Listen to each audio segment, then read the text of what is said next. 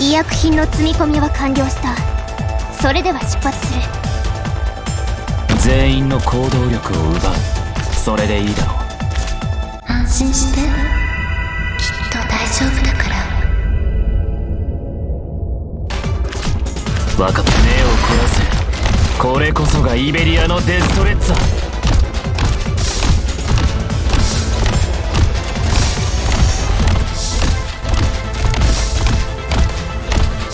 私も戦えます。信じてください。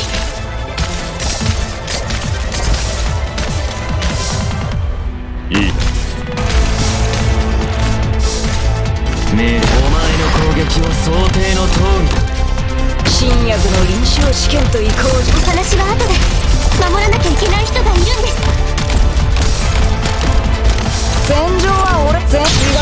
たら二度とどちらんねえ呪いの箱みたいなもの。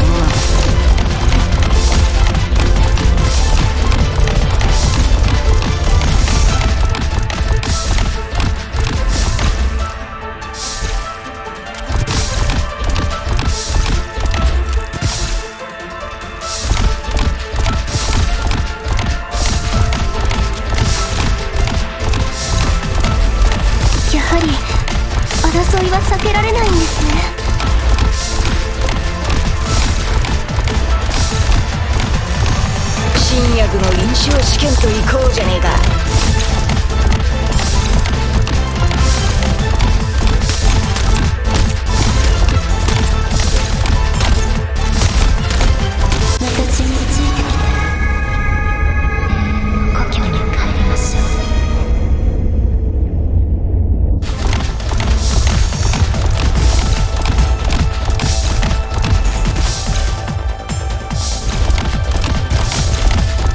戦場。使ってみればこの薬の